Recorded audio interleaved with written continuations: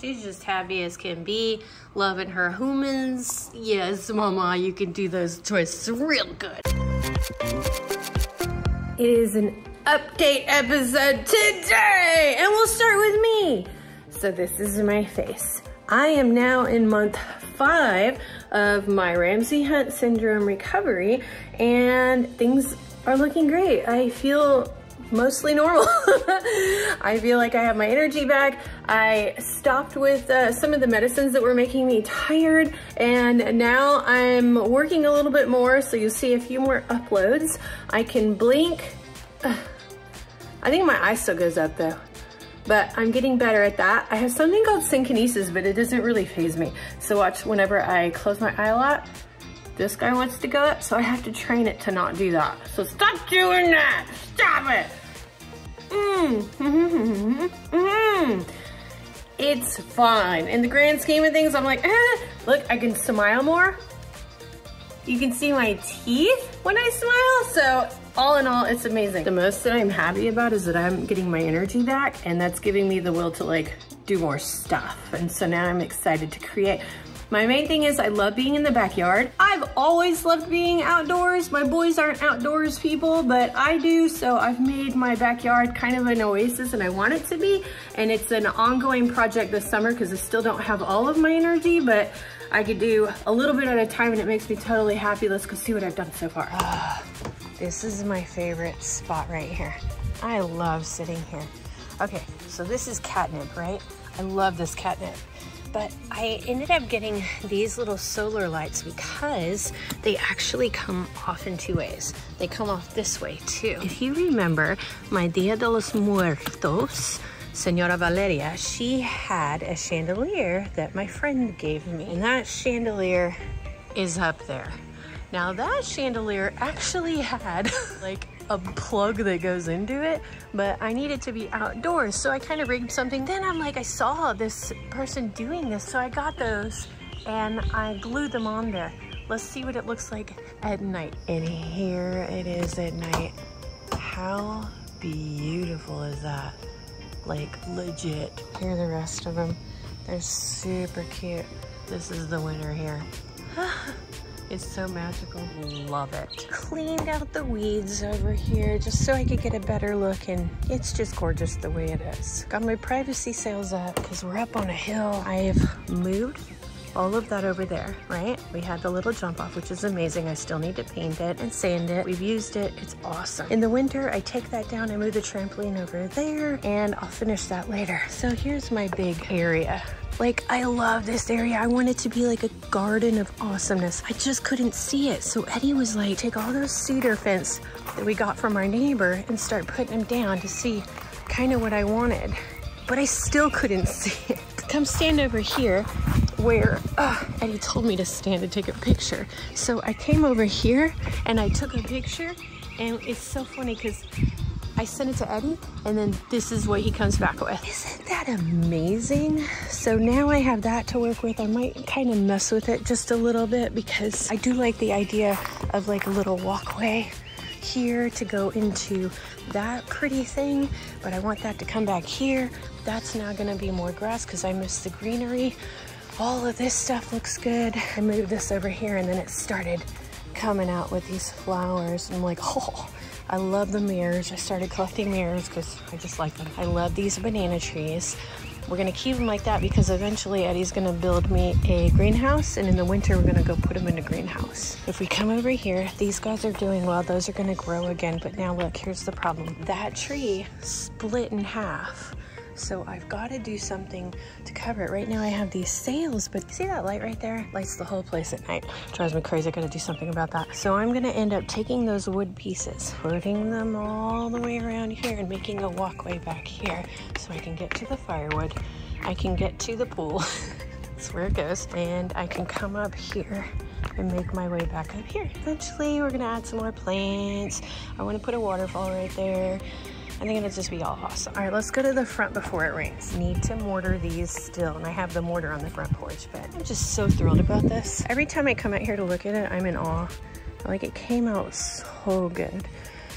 I'll uh, put a video up for how I made this, I think. I think think I put it up on how I made it. Surely I did, right? It just came out so good. So there's the drain over there and it just drains it all out and the little fishy comes with it and it'll drain down here and it'll go right into there into the bushes. Oh so I got these some mini rose bushes from HEB, really, really cheap and they're doing so well. This is my favorite right here. I picked this up on a whim. it fit perfect in there. it's so cool.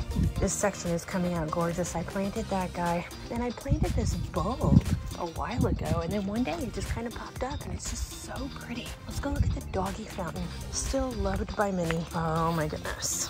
I haven't come out in a minute. I do need to clean it, but this is the sweetest thing on the planet.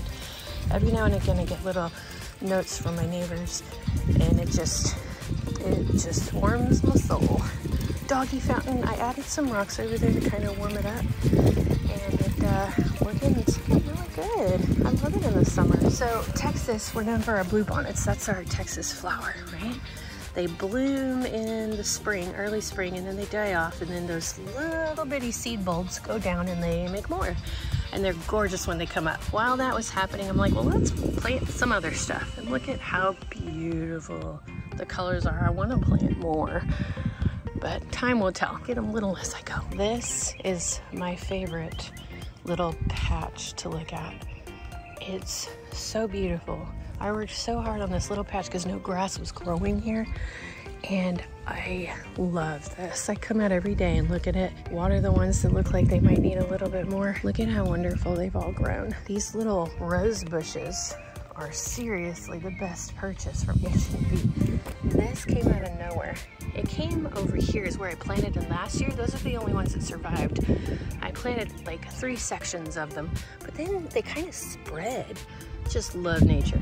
Isn't that gorgeous? No clue what this is, but it's gorgeous. Gorgeous. Came back better than ever from last year. I've repainted this. I have plans. My plans will happen soon little at a time, but I'm excited about what's to come on this walkway. She's still looking amazing. Like, she really is cool. And these guys are looking cool too. I don't think I'm ever gonna update them. I'm gonna let them wear out a little bit as they go, because I think it just looks cool that way. Marshy, baby, did you find a new place? Huh, Mama? Yes, you did. You're sleepy, huh? Hi, Mama. Look at you, beautiful girl. All right, let's let her sleep. She's a little picky. She doesn't like to be touched.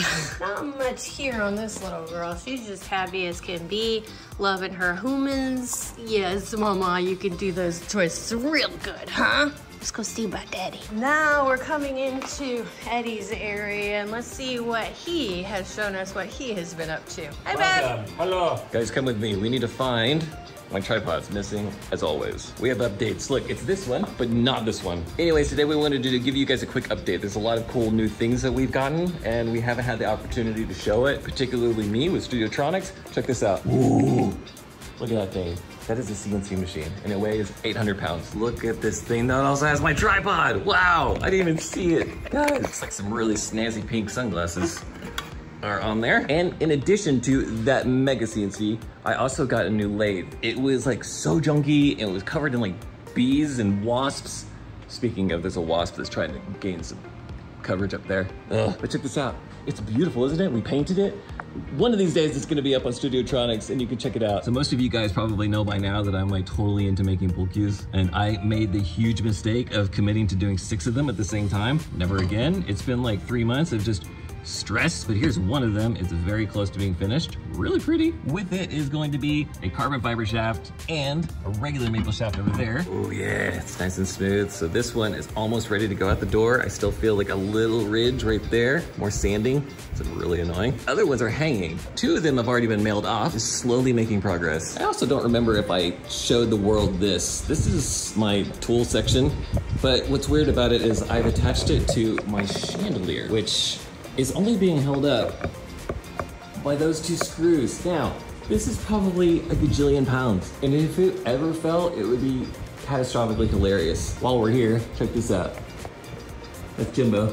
Where is Jimbo? He's trying to build a wasp nest. Last year, started there, but we totally like killed that nest and he gave up and that was it for that year. And this year he's back. Jimbo, good luck, buddy. So this carbon fiber shaft is from the guy who is buying this here right here. But he mentioned it was a repair. It was damaged and he wanted me to take a look at it. And I've made quite a few of these and this is new to me. It looks like he might have plugged it with maple. I don't know what that goo is. Is that old epoxy maybe? Fascinating. Why it failed, I'm not sure, but we are going to just core it out and start over. Oh my gosh, you guys, I have to share with you my other tool holder. Check this out. Can you see the back of it? Hold on, let me just back it up a little bit. See that? If you come to the back.